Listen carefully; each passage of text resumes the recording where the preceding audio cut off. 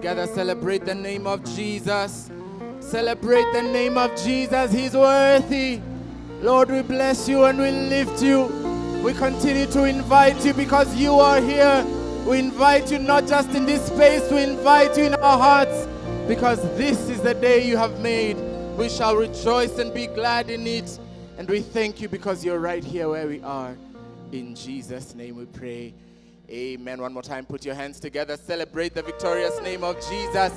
You may be seated in Jesus' name. Amen, amen, amen. Please take your seats. Thank you, worship team. Would you put your hands together one more time? Celebrate Jesus for these amazing people in the name of the Lord. Hallelujah. Good morning. Come on, good morning. Are you well? Are you well? Are you glad you came to the house today?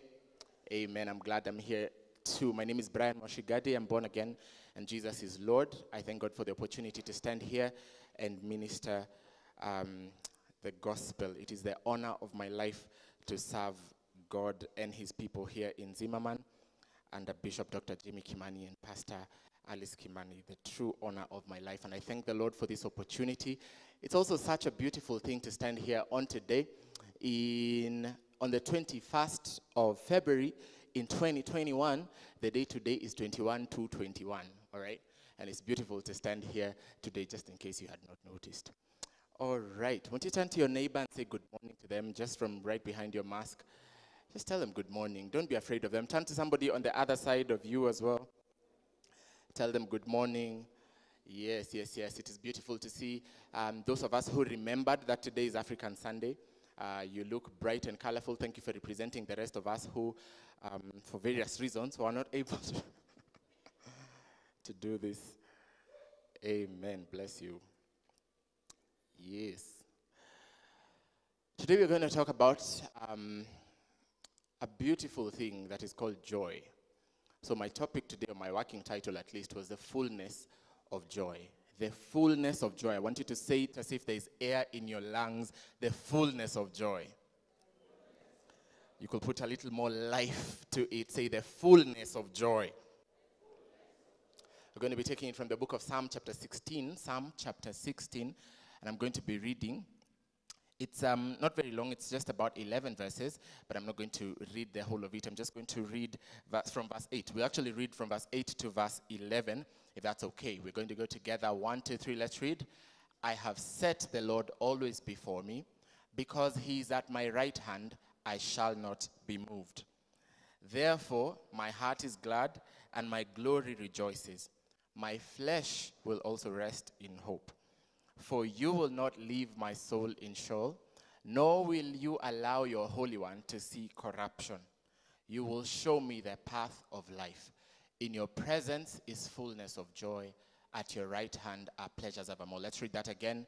You will show me in your presence at your right hand. Father, we ask that you would speak to us in accents clear and still that when we leave this place, it shall be evident that we have been in the place where our Father is. In Jesus' name we pray. Amen. I'm just going to do a brief introduction of um, the Psalm, chapter 16, that we've just read. It's called a Miktam of David, uh, and it's a beautiful psalm. It relates a couple of things. Uh, just from reading the verse, you're able to um, you're able to deduce. Is it to deduce or deduct? You're able to tell that um, this psalm was written in a time of peril. It was written in a time of difficulty, okay?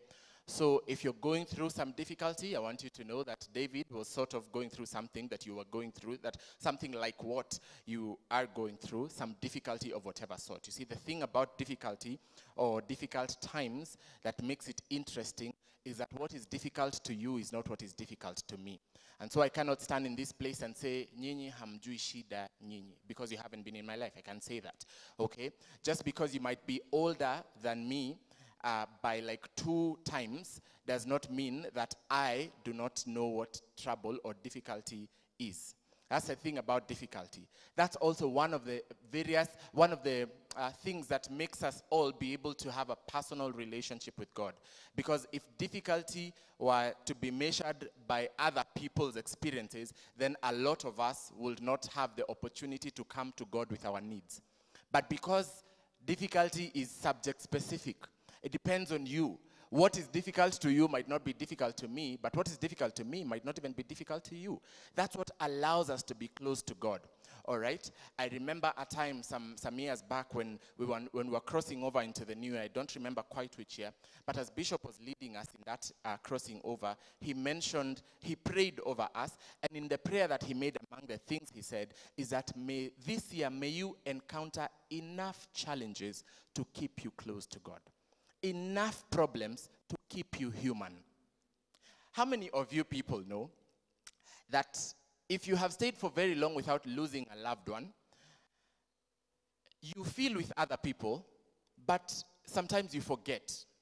So you go to people and you tell them some absurd things when they have lost a loved one.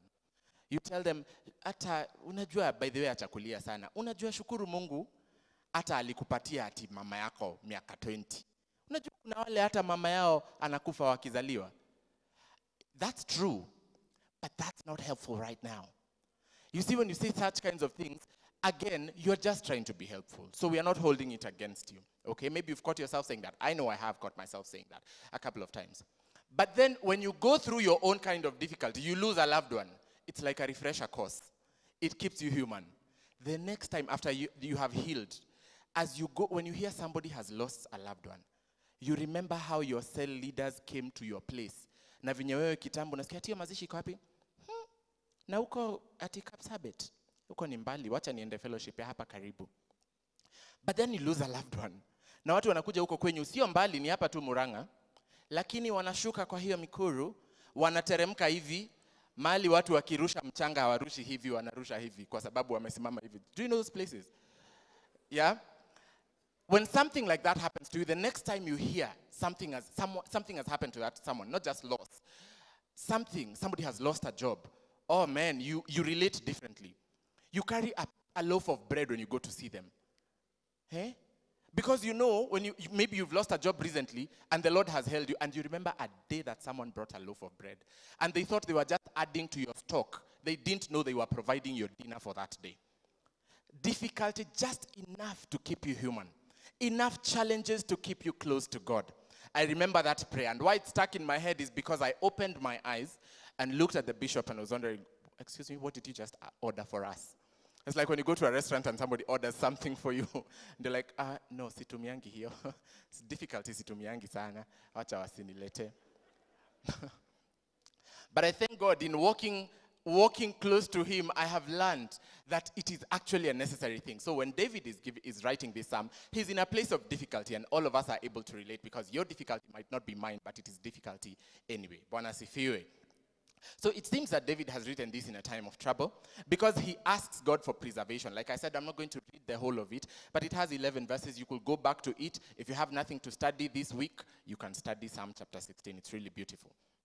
So in verse 1, he says, Preserve me, O God, for in you I put my trust. So when he's praying, Preserve me, somebody does not just make that prayer uh, unless they are going through something. There's something that prompts you to make that prayer. So he continues uh, in making that prayer and takes confidence in God. A couple of times in that psalm, like in verse 8, um, he he says uh, that he will not be greatly moved. He's, he's making this prayer of preservation and puts faith together with it. He says, Because he's at my right hand, I shall not be moved. The psalm, even though is in a, pla- in a time of difficulty, is not a psalm of despair. We know other psalms of despair and complaint and lament, but this is not one of those. It's written in a time of difficulty, but it is a psalm of settled joy. There is some joy that, that is inside there as you read it. There's a certain confidence that David has, has found in this portion of scripture. Despite his trouble, David has the confidence uh, of praising God or he's praising God in confidence. So, what is the confidence that we get? His confidence we can get in the kind of prayer that he makes. He asks, "Preserve me, O God." I like one of the uh, of the of the um, commentaries that I read uh, by, by Charles Spurgeon. And Spurgeon puts it this way It is as if David will pray and say to God, Preserve me from the world. Let me not be carried away by the excitements of the world. Let me not be before its blandishments. Let me not be carried away by the frowns. Because you and I both know that in this world we face challenges, different things at different times. And then it is as if he would also say, Preserve me from the devil. Let him not tempt me above what I am able to bear. Preserve me from the evil one. As if he will also say, Preserve me from myself. I don't know how many of you have found yourself making that prayer. I know I've made that prayer enough times where I'm crying out to God and saying, God, please save me from myself. The Bible says the foolish woman destroys her house with her own hands. All right? So it is a valid prayer to ask God sometimes, save me from myself. Because you know yourself, I know myself too. Sometimes you're the one who takes yourself. As you read the Bible and it's talking about there are six things that the Lord hates, indeed, seven that are uh, an abo- what is that? Abomination to him, thank you. Among those things is feet that rush off to do evil. Your own feet are the ones that are putting you you are the one that is rushing towards evil. So when you're making the prayer, you can ask God, God, save me from myself. David is making that prayer. Save me from myself. Keep me from growing envious. Keep me from being selfish. Keep me from being high minded. Like what we were being taught about in the first service last Sunday. Um, circumcising the foreskin of your heart again and again. Because, you, I, and I love the examples that um, uh, Pastor Sikuku was giving. And he was saying, uh, I am a man of Luhya tribe you might be one too. And then so sometimes it is in the pride. And see, Joyce, Joyce Meyer says the most deceptive sin is pride. Because even when you have it, you are too proud to admit it. You see, it, it creeps up under us. We don't even know it. And we said recently, somebody, I think Professor Waithimon, he was preaching here some time back, and he said, proud people don't go saying they are proud. You don't stand here and say, in fact, it is the proud people that say, me by this sinanga pride. Ka kuna kitu mtu Mungu aliniokoa nayo ni pride. Mimi sinanga pride. so you can see the person who is just, you know, looks proud, they might not be. Kwa kweli umdhanie ndiye? Siye kwa kweli. So he's saying, Save me from pride, save me from myself, selfishness, envy, high mindedness, slothfulness, being lazy at what I'm supposed to be doing, procrastination, which I'm sure enough of us deal with every day. We push forward something that we were supposed to do today. And somebody said to us that Procrastination is the highest form of pride because you are lying to yourself or assuming or demanding that you will have another chance to do what God has given you the chance to do today. May God save us from all that. And then finally, he says, Preserve me from those evils which, into which I see other people running into. Preserve me from those evils. Now, nanga wengine wakiendea please let me not go into those places. Because Pastor Alice has reminded us here that you see somebody else, your attitude should be, There goes Mwashigadi, but for the grace of God. That we never look at somebody and think, hmm, hmm, hmm, their sin is stinking to the highest heavens. Whoa, what a terrible Christian. Hmm? No, you say to yourself, Oh, there goes me but for the grace of God. If it were not for the grace of God, I would be them or even worse. So you say, God, save me, preserve me from the sins that I see others running to, and then preserve me from the evils which I myself, I am also so capable and so sometimes so, so given to running toward. Then he makes another prayer and says, My goodness is nothing apart from you. David knew, like, apart from God, that all his goodness was nothing. Apart from God, there is no goodness in me. Apart from God, there is no goodness in you. Yesterday, we were having a discussion with my sister in the evening, and we were talking about how, because growing up, I was very silent, very kept to myself, very timid, very introverted. Very, very much. Uh, I prefer the back seat than the front seat. That doesn't seem true because I'm always standing here. But growing up, it was more pronounced than it is right now. And she made a statement and said, You see, sometimes we look at people, or even we look at ourselves, and we assume just because we are kept together that we are not bad people. I know when you've gone for evangelism, those of you who have, um, uh, you have maybe found, your, found somebody saying to you, um, sijaokoka lakini sikwangi mtu mimi. Nakuwa tu.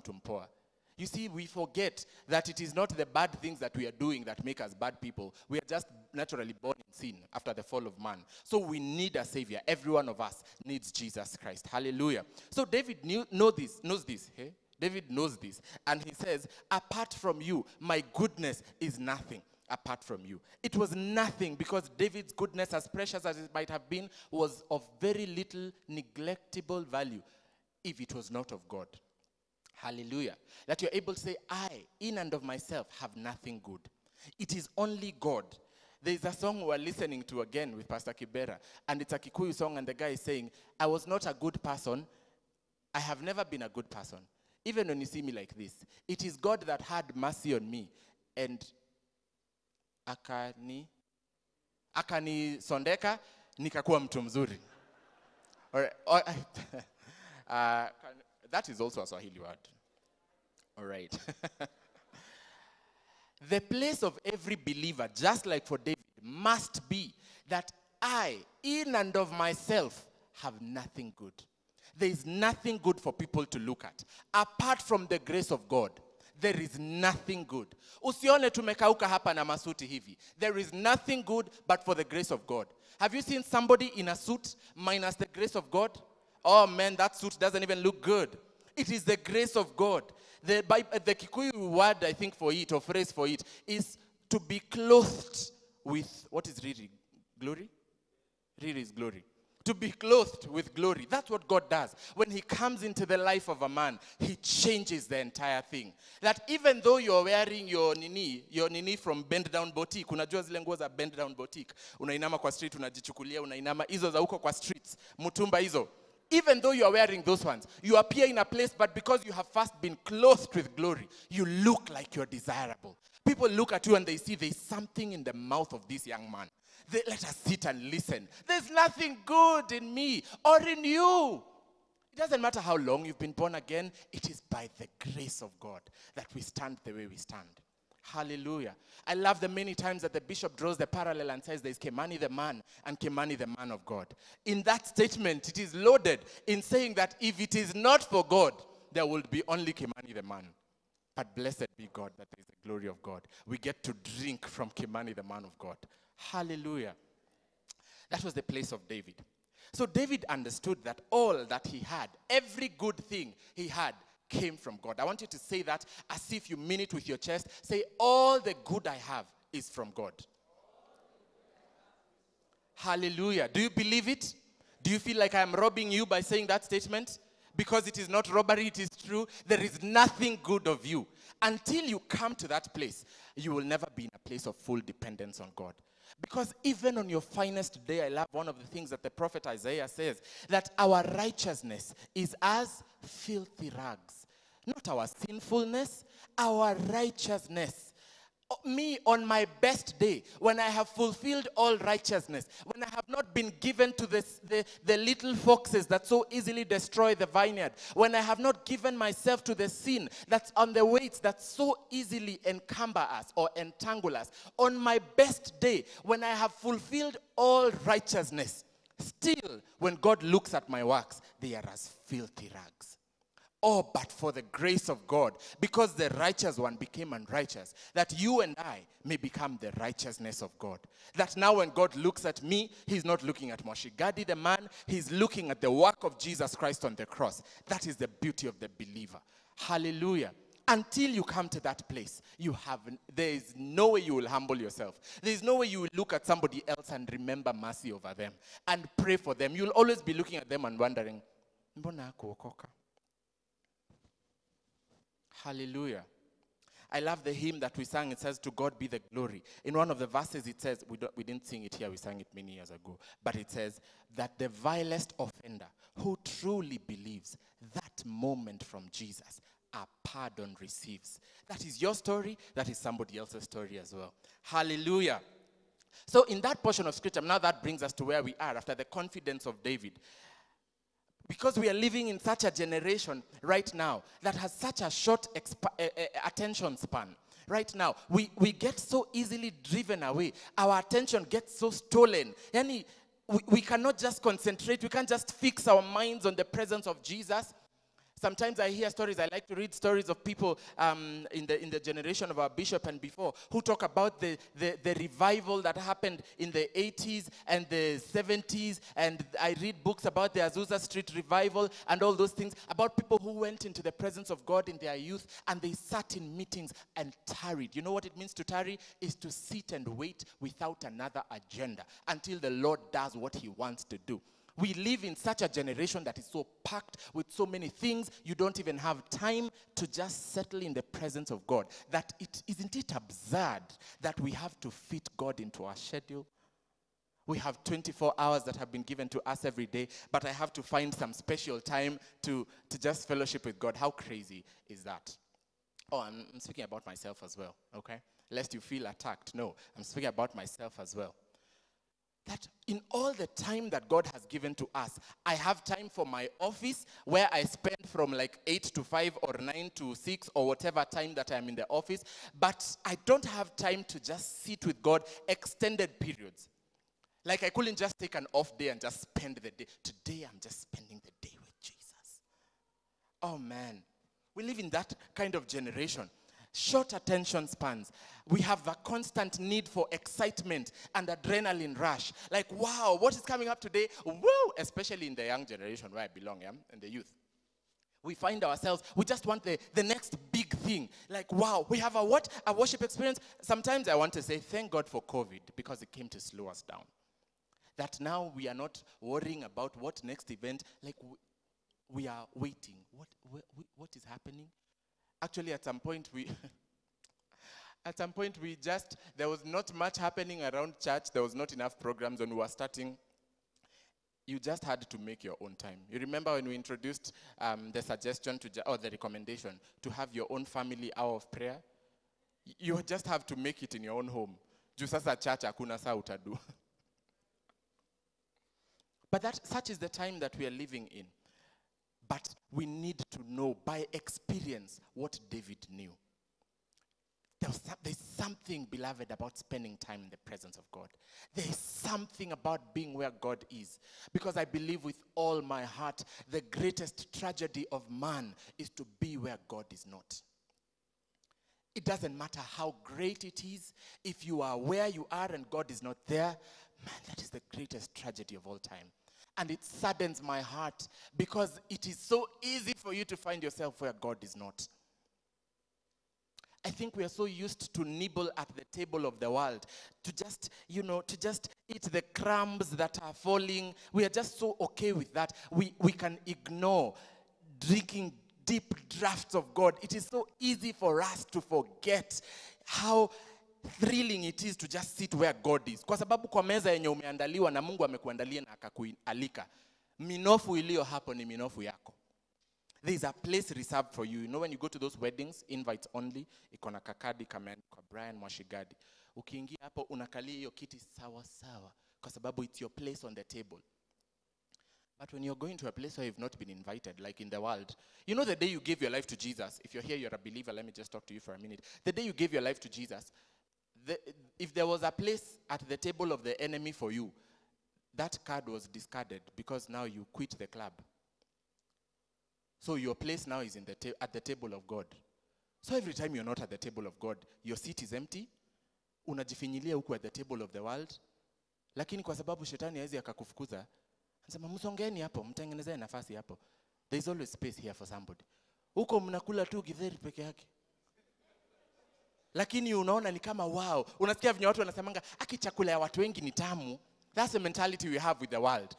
Because the table of god is not crowded there is a place inside there for everyone. How do i know that? The bible says that in the book of colossians chapter 1 from verse 16 it says in the message so spacious and so roomy is he that everything in the world finds its place in him. There's space for you in the kingdom of God. At God's table, there is a space for you. But at the table of the world, when you gave your, your you gave up your place, so ni wapi huko unaenda kujirudisha? Lakini ukifika just because you're invited at the table of the enemy you think you're invited. You think you fit in. Like, i'm just ministering to them. I am just no you're not. I remember i remember a time when bishop was preaching about um, i think it was their day and he was saying about venye wachungaji walikuwa wanaenda kuhubiri kwa mabaa. Ati wanaenda huko wana, ati sasa yeye akunywi analetewa samosa unakula tusamosa twa huko unakula tusamosa twa huko. Saa ukitoka huko unaangalia look left look right ndio usitoke washirika wafikiriwe kwani hata hauna amani huko. Na hapa kanisani unaweza tu ukaingia hivi hata unataka hata watu wajue unaingianga kanisani by the way. There is no space for you at the table of the world you gave up your place a long time ago. Quit going back to it. May God help us, man. May God help us to quit the table of the because we already quit it. To quit it, quit it. Hallelujah. In the presence of God, why should we stay there? Number one, there is exclusivity of joy. Exclusivity of joy to mean it is exclusive. The exclusivity of joy is in the presence of God. Listen to what it says. It says, In your presence is fullness of joy. I want you to understand this one thing. Fullness means this it is the state of being complete or whole. Fullness means the state of being complete or whole. That means this simply that in the presence of God, there is joy in its fullness, in its wholeness. That means this. There is not a single crumb, a single chunk. Even the idea of joy is nowhere else but in the presence of God. Listen up, guys.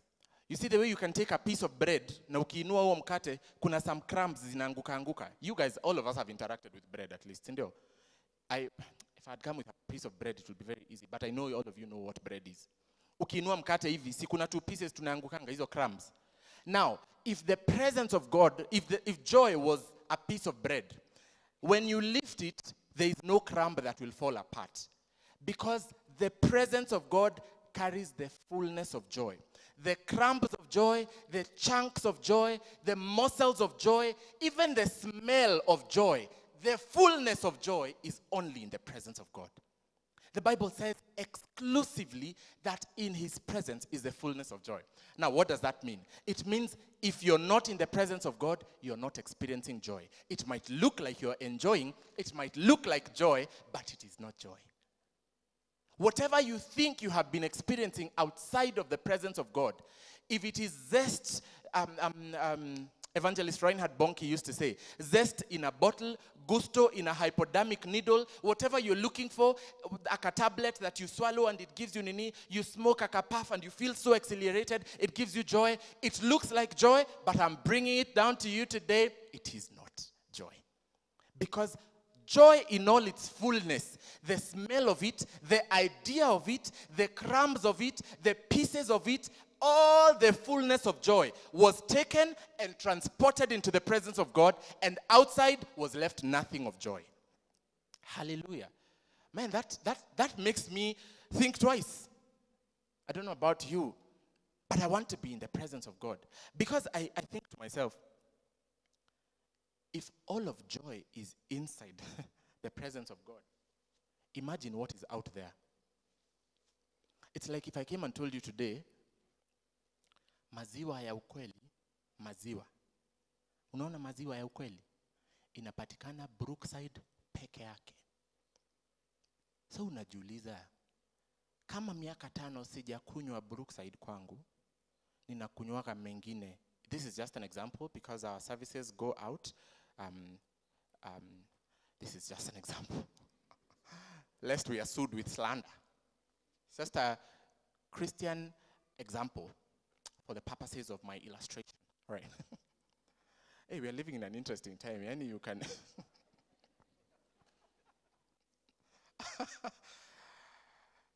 Imagine if somebody told you the only true milk is Brookside. You're asking yourself, so what have I been drinking? See, that's a question that will be on your mind. So if I tell you, in the presence of God is fullness of joy, you ask yourself, so what is out there? What have I been experiencing out there? Because sometimes I'm in the presence of God, sometimes I'm not. Like, ni nini nimekuwa nikienjoy huko nje? Do you think about it that way? Because that's what came to my mind when I read this. I thought, Mayo. So, what is this I've been drinking? What have I been? Oh, man. I remember growing up, my mom used to say to us, we had this a million and one times, my sister will bear me witness. And she used to say it in Kiembu, but I'll say it in English. She used to say, Out there are dogs, and witches, and liars, and workers of iniquity. So if you're outside there, ask yourself, who, whose company are you in? In Kiembu, it sounds that much better. And she was quoting scripture, that's Revelation 22 and 15. It says, Out there are witches and liars, arogi now uh, uh, oragani na all those things out there so she was asking us kama uko ndani ya yesu uko huko nje na kina nani wewe ni mgani kati ya hao wewe ni mchawi ama mlogi wewe ni mula gani wewe ni nini so imagine if, if you're not in the presence of god man what are you drinking out there because i can assure you i might not know exactly what we have been partaking but i can tell you this it's not joy because the presence of God carries the fullness of joy. When we are doing enjoyment, my generation, hello. When we are doing enjoyment and it is not in God's presence, and the beautiful thing about God's presence is that you can carry it wherever you're going. Hello. You can carry God's presence wherever you're going. You can be with God wherever you are. He's omnipresent. All right? And so the thing about God's presence is that if you're not with it as you're enjoymenting, then you are drinking something that is terribly lethal. Oh man, may God help us. The exclusivity of joy is only found in God's presence. When I was in campus, wow, I get to use something I learned in campus. When I was in campus, I studied environmental something. oh, and there's something they taught us called endemic species. Come on. All the environmentalists and conservationists in the house say yes. Okay, that's encouraging. There's something called endemic species. What an endemic species means is something that is found just in one place, okay? It is native and restricted to a certain place. A good example here in Kenya is the, the owl, the bird, the owl, O-W-L. It's called the Sokoke scops owl, okay? We only found it like in Mombasa. In Mombasa, yes. In Kenya, it's only found in Mombasa, like Arabuko Sokoke forest, okay? It's my opportunity, okay, guys? It can also be found in Tanzania, okay? But in Kenya, it's only found in Mombasa at the Sokoke forest, and it's only found in a certain portion of plantation, which is only covers like a third of the forest, okay? So it's endemic means it is exclusively found in one place. So we will say joy is endemic to God's presence. Come on here. I mean, whoa. Oh, may God help us to be in his presence. Because out there is nothing but not the fullness of joy. Then the expanse of pleasure, number two. The expanse of pleasure. The next line says, At your right hand are pleasures forevermore. The expanse of pleasure. It says, At your right hand, O God, are pleasures forevermore. David had full confidence as we are reading the story of David. He had full confidence that his life with God, both now and forevermore, because just before that he's talked about this place, the afterlife, where he's going to be taken.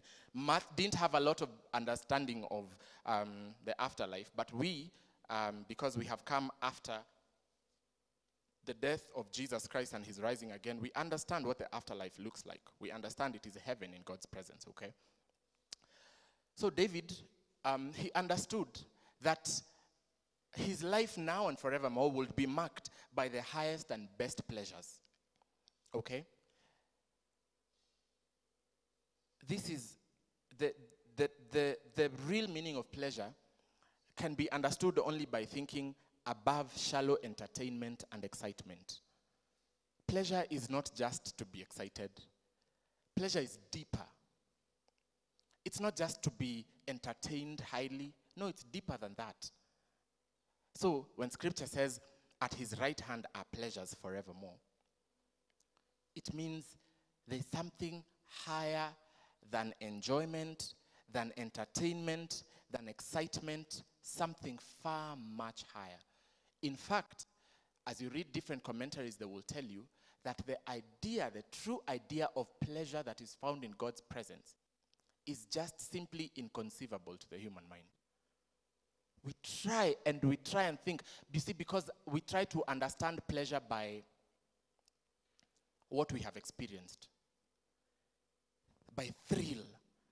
If, if your greatest level of pleasure is the things that give you excitement, unakanyanga gari hivi kwa sababu umepewa gari kama ya bishop, unakanyanga hivi inaenda chwa, inapita 180 na bado uko hai, unaenda tu hivi unasikia wow. Maybe that is what pleasure means to you. If you're uh, an adrenaline junkie, you like, you enjoy that. If you panda ndege for the first time, my goodness, you're just uko in the hair. Even when you feel turbulence, you're excited. Maybe that is pleasure to you. So when you're trying to understand the idea of pleasure, you fall short because it is very it is very human. our finite human minds cannot quite unlock the idea of pleasure because unless we have experienced it we don't even know. We imagine saa pleasure ni nini? Mi naona pleasure ni uingie kfc ukipata 350 yako uitishe ile inaitangwa nini? Two pizza. Spicy.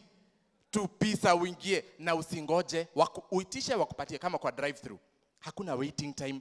Ninaitisha kabla mate idondoke wamenipea. Maybe to you that is pleasure. I know that was pleasure for me when i was much younger. And getting 350 was a whole project. You know when i was in primary school i went to boarding in class 7 and 8 of course i usually haven't prepared my mom for these examples. I'm going to give it anyway. When i went to boarding school my mom used to give me um, um, pocket money okay we didn't have a canteen. Of course, it's primary school. It was like a small prison, but we education happened, so it's okay. Um, and when tukifunga shule, my mom used to come all the way to Embu to pick us, to pick me at least. She did that for all of us, but she used to come to Embu to pick me. So my fare, ile pesa matumizi yangu ni, alikuwa ananipatia 350, okay. So kwa hiyo 350, 350 2004 was a lot of money. So hiyo 350 ninalipa tu 70 nifike Embu town kutoka St. Matthew's Mixed Boarding Primary School Kianjokoma, all right, in Embu. So nikishafika Embu, fanya 350 minus 70. Nilikuwa namkabidhi hizo hela, namwambia ulicho nikabidhi ndio haya masalio. Nilianza accounting kitambo, accountability. so now, when I started knowing that my friends go out and they buy for themselves like Kapita Inn, I'm like, hala? Hala? Eti nimekuwa nikilalia masikio miaka mingi kwa kweli. So I started to I started to to save. Unarudisha mia, unarudisha 50, ile time nyingine haurudishi chochote kwa kweli. Because pleasure for me was to take myself to a like pizza inn or or what was the name of that place? Um, uh, Debonairs in town and just buy a pizza. The small one, but that not withstanding, just buy myself a pizza and sit there and eat it alone. You see, for me, that was pleasure then because my human mind could only think, even when I'm told far much more than you can think, ask, or imagine. Our small minds are so limited. Ephesians 3 and 20. That's why it continues, adds and says, according to the power that works within you. Because the power that works within you is the Holy Spirit of God that blows open your mind to ask for the moon, like Bishop taught us. Because without the Holy Spirit of God, you just ask, you look at your life and say, hey, ameniambia niitishe kitu. Let me give this final example. we went to Nakuru with the pastors eh, some years back, and Bishop Mark called somebody, an old member, and asked him, What do you want? The man was like, What do I want? What do I Bishop Park is asking, What can I do to change your life? What do you want? And the man said, Nataka suti. you should have seen Pastor Kibera and myself. What? You want a suit? Tunasema atujaribu sisi. Atuite sisi. Akisema nikupe nini? Unaisema as a statement. Unasema ningependa ploti iliyo na nyumba ya kuegeza gari ambalo litakuwa na unajua ni statement moja lakini huyo mtu anasema why did I ask this question? Our minds are so limited. But because of the power of God that works within us, we can ask in faith because we understand whatever we ask for in His name, it shall be given. We understand God is limitless because who can know the mind of a man unless the spirit of that man within him? Therefore, who can know the mind of God unless the spirit of God? So, because of the spirit of God, we can cry out and ask, Lord, mercy, save that person. Lord, do this and He will do it. Lord, heal. Lord, save. Lord, deliver. We look like crazy people when we ask for crazy things, but the Spirit of God working within us, in His presence, we understand there are pleasures evermore. Woo! The expanse of pleasure, man. In the presence of God, and my time is up. I want to submit to you, beloved, that it is possible for you to achieve both. That would be number three, the achievement of both. The achievement of both simply means this, yeah? That now the refugee in the first place who will say, in, in this Psalm chapter 16, he says, You are my portion of inheritance and my cup. Verse 5. The refugee now who says, I have nothing. You see, David was a last born son in a family of very many sons. He probably did not have an earthly inheritance. But he was content in the fact that God was his inheritance. The Lord appears to Abraham in Genesis 15 and says to him, I am your exceedingly great compensation, and your reward shall be humongous. For the believer, you understand that for me, the Lord is my portion in the land of the living. But where do you get these things? Only in His presence. If you're here and you understand, because you know your life, you know what your life looks like. Sometimes you're in, you're in God, you're born again, but you're not in His presence all the time. You know where you go to find pleasure. You know where you, you try to. Sometimes it's in your job, it's not the bad things. Remember when Jesus is, is giving the parable of the banquet feast, Luke chapter 15 or is it 14? Gives the example, and he's inviting people, and this man gets mad. Why? Because one says, I can't come, I have gotten a new wife. I can't come, I bought a new piece of land. I can't come, I bought a team of I bought a team of oxen it's not just only the bad things. So don't be seated here and think, I'm not doing any bad things. Sometimes we derive pleasure from other things. And so there's a poem by John Flavel, and he asks, Where have you been, O my soul?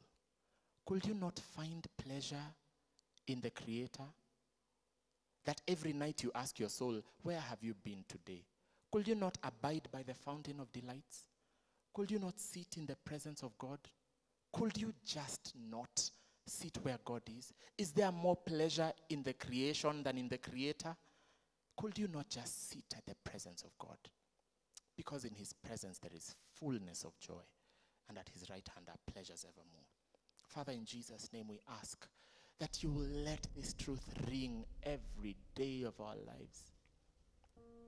That we will never forget that the fullness of joy, its exclusivity, Everything about joy is only found in your presence. And evermore, every day, undepletable pleasures, pleasures forevermore. That when we have consumed pleasure today, tomorrow we can still find more pleasure and more. And it is not just what our short, small, finite minds can get, it is great, inconceivable pleasures. By the power of your Holy Spirit, they are only found in one place at your right hand in your presence. We want to achieve both, Lord Jesus. So we pray today in broken hearts that you will help us to find pleasure in you every day of our lives. Let us stay in your presence, at your feet forever. Teach us by the power of your Holy Spirit because we pray these things in Jesus' name. Amen. The Lord bless you.